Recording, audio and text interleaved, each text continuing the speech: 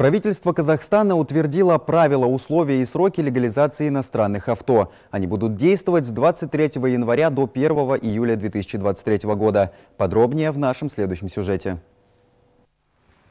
Автомобиль можно будет легализовать только при некоторых условиях. То есть он должен быть ввезен в страну до 1 сентября 2022 года, не находиться в розыске, снят с учета в другой стране и пройти таможенную очистку. Правила будут действовать до 1 июля 2023 года и распространяться на легковые автомобили, малые, средние автобусы с полной массой до 5 тонн и небольшие грузовые автомобили с полной массой до 3,5 тонн, в том числе с правосторонним расположением органов управления. При этом владелец должен предоставить четыре документа. Это заявление, документ, удостоверяющий личность, паспорт транспортного средства и свидетельство о регистрации автомобиля. Документ, подтверждающий право собственности на транспорт. Требования по возрасту и экологическому классу к иностранным автомобилям, подлежащим первичной регистрации, предъявляться не будут.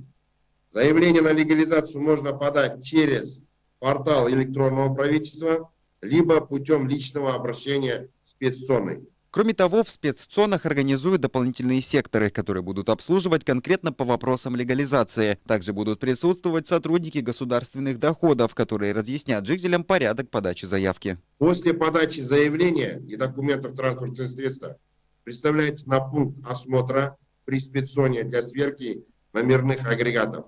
Сверку будут производить э, криминалистическая служба департамента полиции.